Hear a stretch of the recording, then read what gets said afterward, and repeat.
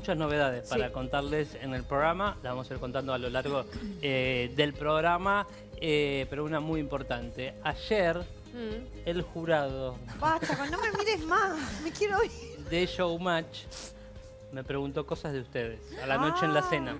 Ah, sí.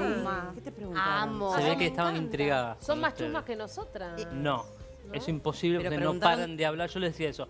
Llegan a las 8 de la mañana y empiezan a hablar en Igual ellas querías que... Hablan en el pasillo, hablan en los cortes, hablan en los PNT, se van y siguen hablando.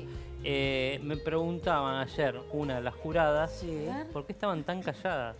Porque Ah, ayer. callaste. Porque somos hubieras dicho que te tenemos miedo. No, yo le dije.